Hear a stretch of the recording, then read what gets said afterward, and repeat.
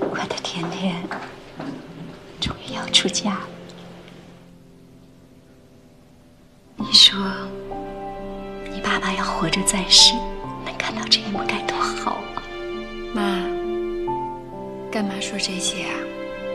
我还以为你会说，终于把这个剩女给扫地出门了。傻丫头，妈妈不舍得。好啦，哎呀，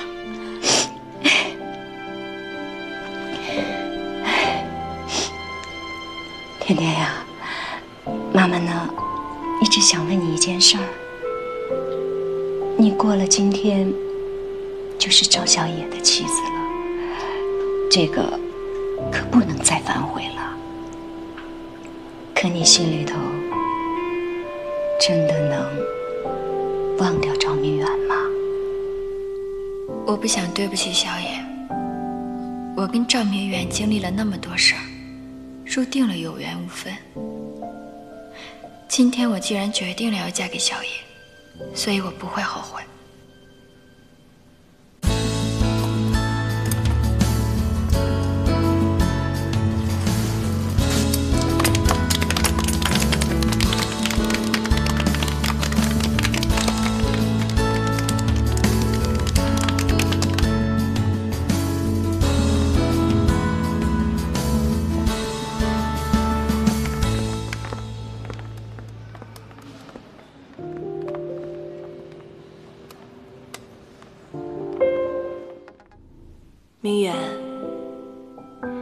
两年前，在我去艾尼克斯受了刺激昏迷之后，妈妈来看过我。那个时候我就知道，她还活着。她鼓励我，让我不要再沉溺过去，跌倒了，要学会自己爬起来。这些年，她都放下了，一直在。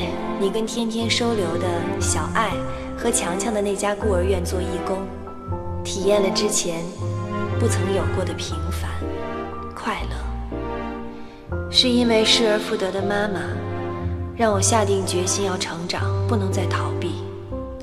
未来的路，我要学会保护她，因为她已经没有了丰满的羽翼来为我遮风挡雨。我知道。